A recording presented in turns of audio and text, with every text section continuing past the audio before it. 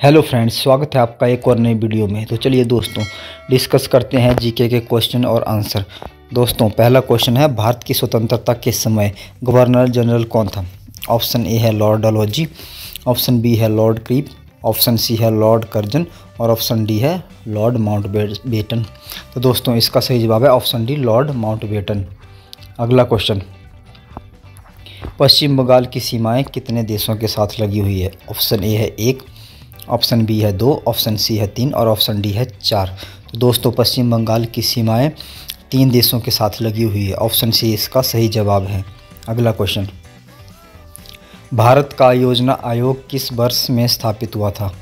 Option A 1950 में, option B उन्नीस सौ बावन में, ऑप्शन सी उन्नीस सौ उनचास में और ऑप्शन डी उन्नीस सौ सैंतालीस में। तो दोस्तों, इसका सही जवाब है ऑप्शन ए 1950 भारत का योजना आयोग 1950 में स्थापित हुआ था।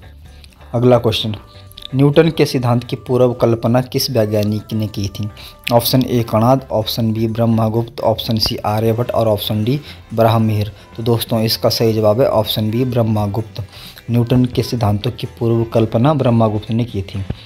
अगला क्वेश्चन अगला क्वेश्चन है, दशावतार मंदिर किस नदी के तट पर स्थित है? ऑप्शन ए है गोदावरी, ऑप्शन बी है नर्मदा, ऑप्शन सी है यमुना और ऑप्शन डी है बेतवा। दोस्तों, इसका सही जवाब है ऑप्शन डी बेतवा।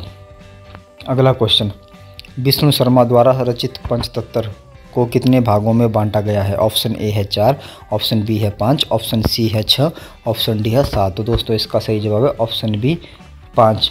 अगला क्वेश्चन सैंडविच किस द्वीप का पुराना नाम था? ऑप्शन ए है होंसू द्वीप ऑप्शन बी है हवाई द्वीप ऑप्शन सी है ग्रीनलैंड द्वीप और ऑप्शन डी है सभी। तो दोस्तों, इसका सही जवाब है ऑप्शन बी हवाई द्वीप। दोस्तों, अगर आपको मेरी यह वीडियो अच्छी लगी तो मेरी वीडियो को लाइक करें, कमेंट करें, शेयर करें और मेरे चैनल को सब्सक्राइब करें। धन्यवाद।